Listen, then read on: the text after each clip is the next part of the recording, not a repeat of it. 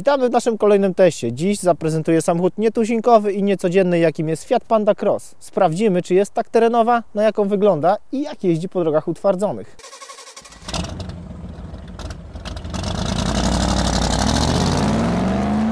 Napęd na cztery koła zadebiutował w Fiacie Panda pierwszej generacji już w latach 80.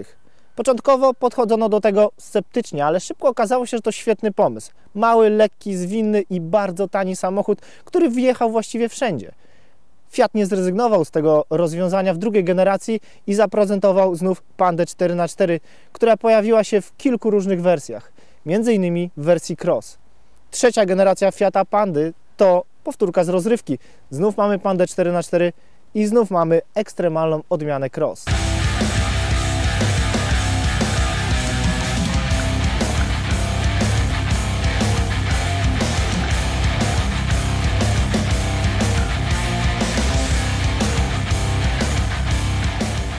Standardowa odmiana Fiata Pandy 4x4 właściwie nie różni się specjalnie od zwykłego modelu. Owszem, jest trochę wyższa i ma kilka plastikowych dodatków, ale zasadniczo dla przeciętnego człowieka jest nie do odróżnienia. Fiat Panda Cross to już zupełnie inna bajka.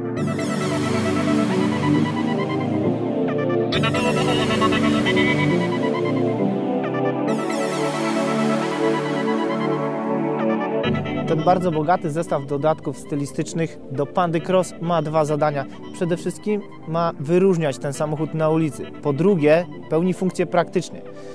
Panda Cross ma zupełnie inaczej ukształtowany spód zderzaka, dzięki czemu auto ma wyższy kąt natarcia. Dodatkowe czerwone ucha holownicze pomagają w najtrudniejszych sytuacjach. Może wyglądają dość karykaturalnie, ale w rzeczywistości bardzo się przydają. Pod spodem mamy stalową osłonę chroniącą silnik i skrzynię biegów. Liczne plastikowe osłony, dodatki również na progach, nadkolach, a także z tyłu. Mają chronić ten samochód przed zarysowaniami, uderzeniami, nie tylko w lesie, ale nawet i w tak zwanej miejskiej dżungli.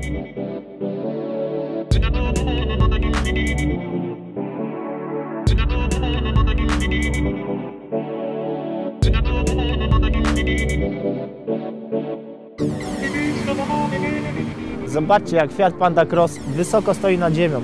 Prześwit to 158 mm. Specjalnie poukładano wszystkie elementy pod spodem, aby nie można było ich uszkodzić w terenie. Dzięki krótkiemu rozstawowi osi kąt rampowy wynosi 21 stopni, ale spójrzcie na kąt zejścia, jak w prawdziwych terenówkach, 31 stopni. Właściwie trudno tu cokolwiek uszkodzić.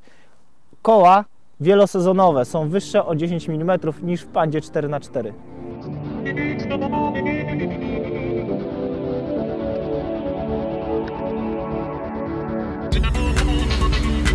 Do napędu naszej Pandy Cross posłużyła jednostka Multijet 2 o pojemności 1,3 litra i mocy 80 koni mechanicznych, wytwarzająca moment obrotowy o wartości 190 Nm. To sporo jak na tak małe auto, ale to, co chciałem powiedzieć, to mm, zmiany, jakie y, zastosowano w tym, tym właśnie egzemplarzu. Wyżej umieszczony y, wlot powietrza na wysokości 739 mm i turbosprężarka, która również jest bardzo wysoko i dzięki płycie pod silnikiem y, chroniona w pewnym sensie przed błotem i wodą. Przed takimi sytuacjami jak ta.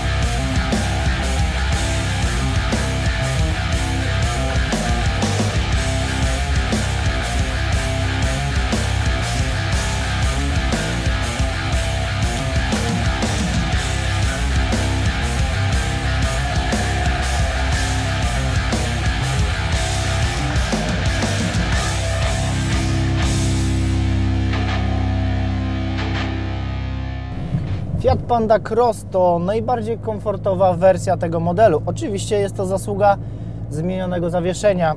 Samochód bardzo przyjazny na kocich łbach, czy nawet naprawdę dużych dziurach. Można powiedzieć, że wręcz płynie. W mieście niegroźne są mu żadne studzienki, żadne wysokie krawężniki. Właściwie nic mu nie jest groźne. Poza tym w mieście wspiera nas układ kierowniczy z trybem City, który pozwala na manewrowanie jednym palcem to ma duże znaczenie przy szerszych oponach o agresywnej rzeźbie bieżnika. W trasie 80-konny silnik Multijet 2 można powiedzieć, że jest wystarczający do tego auta. Pozwala na bezstresowe wyprzedzanie i jazdę z prędkością do 100-110 km na godzinę w komfortowych warunkach, choć przy zbyt niskich obrotach wprowadza karoserię w niezbyt przyjemne wibracje. Wiecie, co świadczy o tym, że mamy za wysoki bieg? Drgające lusterko, ale na szczęście skrzynia biegów pracuje fantastycznie. Jest pod ręką i nie wymaga zbyt dużej siły. W trasie można uzyskać spalanie rzędu 4,7-4,8 litra na 100 km. W mieście trudno przekroczyć 5,5. Właściwie w terenie jest tak samo.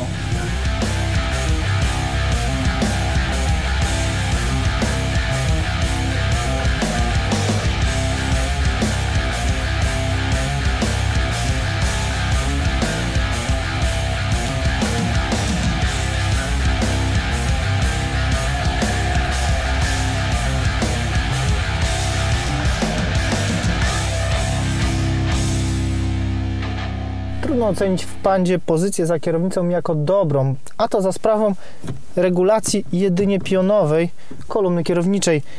Fotel reguluje się w dużym zakresie, można go również podnosić i opuszczać, ale to nie zmienia faktu, że nie jest to do końca wygodnie. Prawe kolano kierowcy musi opierać się o konsolę środkową, no i brakuje jakiegoś podłokietnika. Z tyłu też nie jest najlepiej. Trochę brakuje miejsca na nogi, trzeba wbijać kolana w plecy kierowcy, ale za to nad głową jest sporo przestrzeni.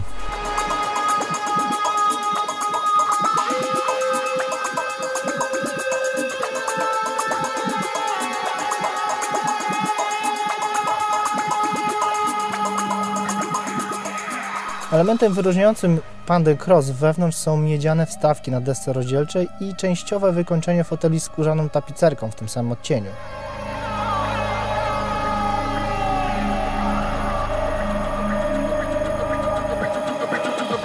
Pojawił się również selektor Train Control.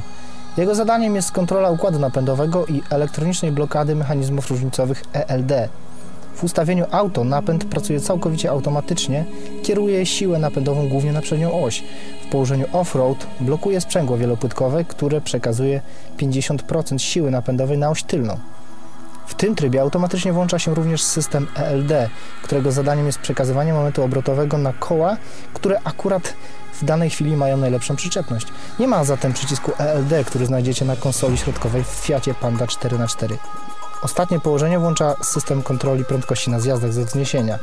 Oba terenowe tryby pracują do prędkości 50 km na godzinę. Ponadto zmodyfikowano y, całkowicie y, tą konsolę środkową ze względu właśnie na selektor Terrain Control. Na tył przesunięto gniazdo USB.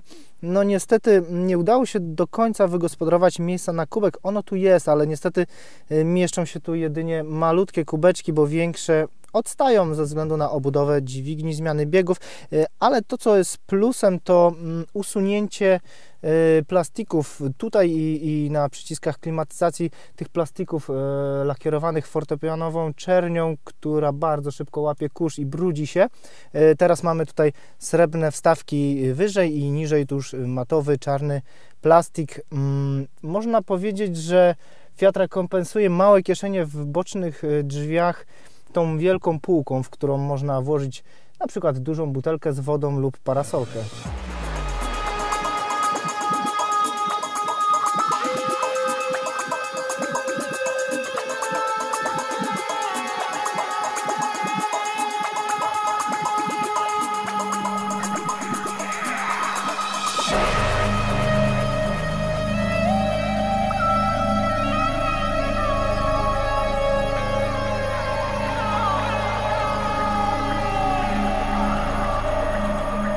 Wysoko natomiast można ocenić bagażnik Pandy, choć nie ze względu na jego przeciętną pojemność wynoszącą 225 litrów, ale z powodu jego foremnego kształtu oraz szerokiego otworu wsadowego, zwłaszcza w dolnej części, czego nie uświadczymy u konkurentów segmentu A.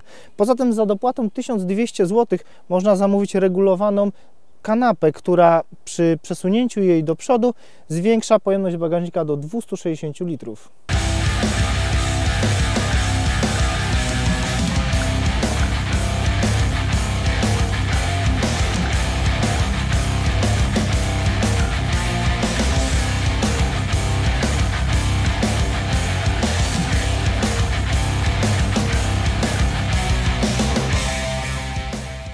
Fiat Panda Cross jest wyjątkowo dzielnym i przede wszystkim wdzięcznym samochodzikiem terenowym, który zmieści się właściwie wszędzie.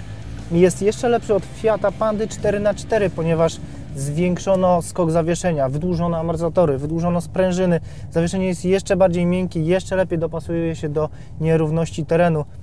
Poza tym skrócony pierwszy bieg, który pozwala pełzać na największych nierównościach, pozwala kluczyć pomiędzy skałami, po, po, pozwala jeździć po korzeniach, pozwala właściwie na prawie to, na co pozwala zwykły reduktor w klasycznym samochodzie terenowym.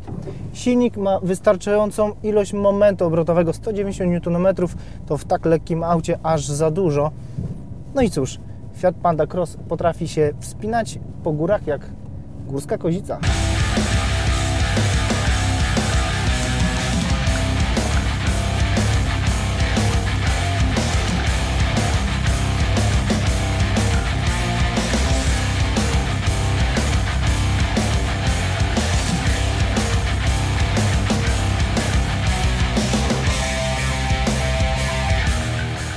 Może jeszcze kilka słów na temat układu napędowego sterowanego elektronicznie.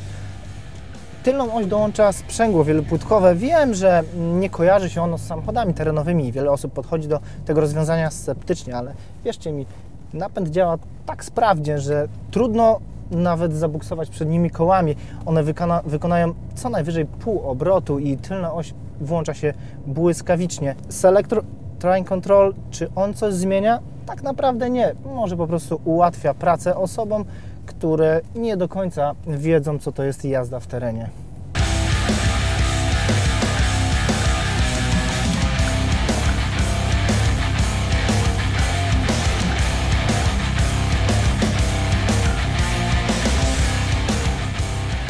No cóż, powoli zaczyna padać, więc my powoli musimy kończyć. Czas na podsumowanie. Fiat Panda to samochód bardzo udany. To świetne połączenie samochodu miejskiego i terenowego.